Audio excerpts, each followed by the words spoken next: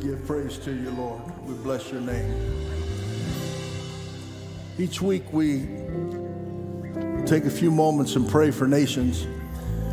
Jesus said, My house shall be called a house of prayer for the nations.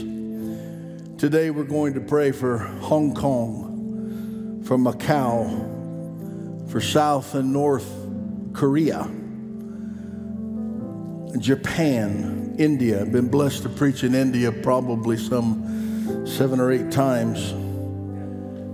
Sri Lanka.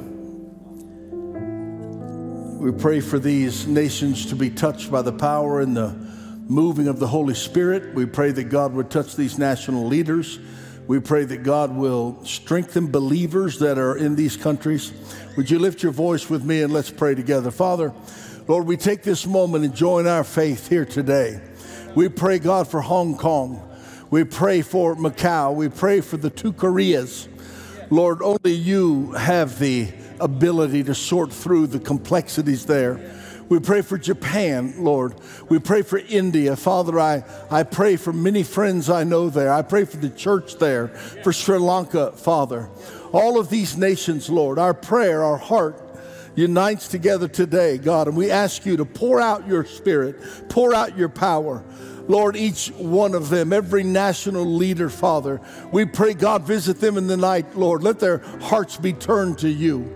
We pray, God, for the churches that are in these nations. We pray, God, that you will strengthen them. We pray, God, that you will resource them. We pray, God, that there will be a move of your spirit so that men and women may come to the saving knowledge of the Lord Jesus Christ. And everybody in the room that agrees with that shouted, Amen. And Father, we pray for America again today. We ask you, Lord, in these uncertain times, we ask you, Lord, in these days that are, that are full of conundrum and questions, Father, we pray that your Holy Spirit would move. God, we believe you. We join our voices to so many others, believing you for an outpouring of your Spirit around this country, Father, around this nation.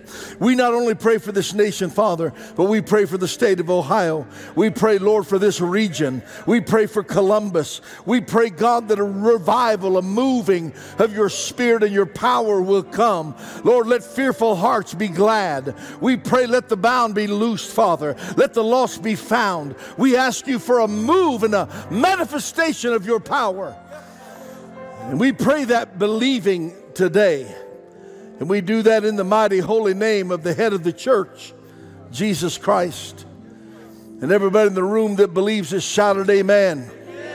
Come on, let's clap our hands and give praise to the Lord. Hallelujah.